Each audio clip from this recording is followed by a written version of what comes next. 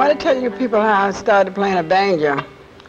My brother owned the banjo, and when he'd go to work, I'd get his banjo down and play it.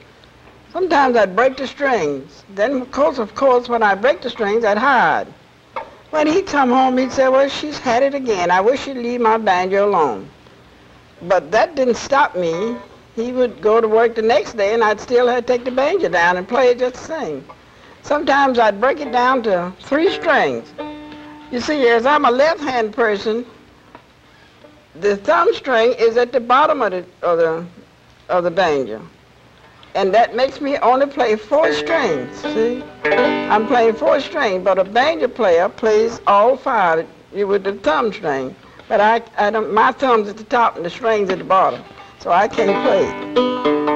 And I'm going to play a song called shoot the Buffalo. I'm going to shoot the Buffy, That I'm going to shoot the low, then I'm going to shoot that Buffalo.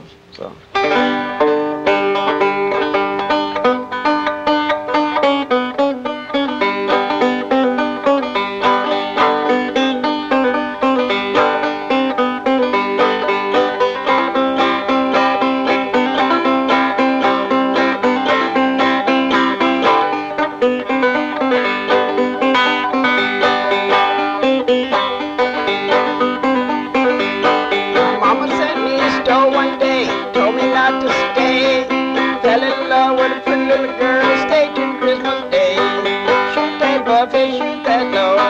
that Babylon, shoot that Babylon, shoot that low! shoot that Babylon.